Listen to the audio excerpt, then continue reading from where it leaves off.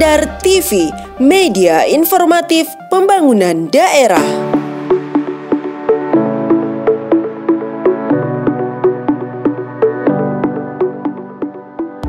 Ikatan Apoteker Indonesia Pengurus Cabang Polewali Mandar menggelar fokus group discussion bersama pemerintah Kabupaten Polewali Mandar dan stakeholder terkait dalam rangka membahas tinjauan komprehensif dan kolaboratif dampak peredaran obat ilegal bagi pembangunan daerah. Kegiatan ini terlaksana di Ruang Pola, Senin 22 Agustus 2022. Peredaran obat ilegal adalah peredaran obat yang tidak melalui jalur resmi sesuai regulasi, yang tidak melalui sarana resmi maupun tenaga yang berwenang dalam penanganannya. Kepala BPOM Mamuju Sulawesi Barat, Lintang Purbajaya, mengatakan BPOM memiliki peran dalam pengawasan dan pencegahan dalam peredaran obat yang tidak sesuai regulasi. Olehnya itu, pengawasan obat dan makanan merupakan tanggung jawab bersama dalam melakukan pengawasan dalam peredaran obat secara ilegal. Perannya yang memang ada dua, yaitu pengawasan dan e, pencegahan. Pengawasannya itu pemberantasannya kami tadi melakukan operasi ya, sebetulnya itu pengawasan rutin setiap hari itu di seluruh wilayah Sulawesi Barat untuk mengamankan sarana-sarana yang menjual produk ilegal, khususnya obat-obat yang disalahgunakan.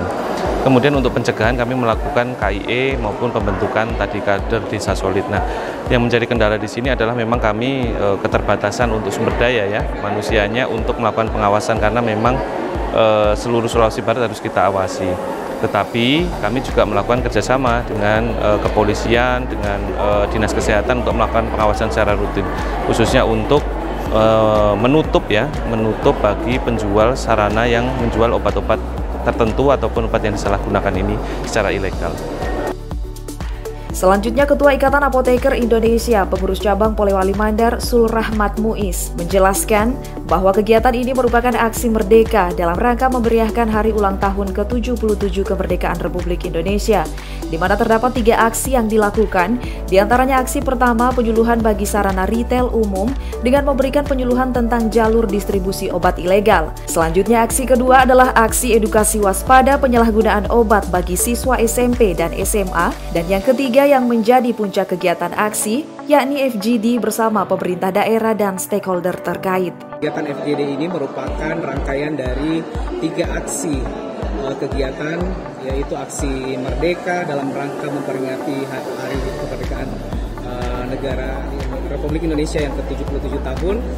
Uh, kami dari Ikatan Apoteker Pengurus Cabang Polewali Mandar menggagas satu aksi yaitu Aksi Merdeka, di mana kegiatan ini terbagi atas tiga. Yang pertama, kegiatan penyuluhan kepada uh, sarana retail umum yang mana uh, di, kami memberikan penyuluhan tentang uh, apa uh, peredar jalur distribusi obat yang uh, legal. Kemudian yang kedua adalah aksi pembinaan kepada siswa di mana kami turun ke beberapa sekolah menengah pertama dan sekolah menengah atas yang ada di uh, empat kecamatan uh, secara bersamaan. Kemudian puncak acaranya yaitu uh, eh, FGD pada hari ini uh, di mana uh, FGD ini bertujuan untuk uh, apa namanya kita mendiskusikan uh, terkait dari uh, maraknya penyalahgunaan obat di kalangan remaja. Adapun aksi edukasi waspada penyalahgunaan obat bagi siswa SMP dan SMA dilaksanakan serentak di 8 sekolah, di antaranya SMP Negeri 1 Polewali, SMP Negeri 2 Polewali, SMA Negeri 2 Polewali, SMP Negeri 1 Wonomulyo, SMA Negeri 1 Wonomulyo, SMP Negeri 1 Campalagian, SMP Negeri 1 Tinambung, dan SMA Negeri 1 Tinambung. Tim Warta Kominfo SP, Polewali Mandar.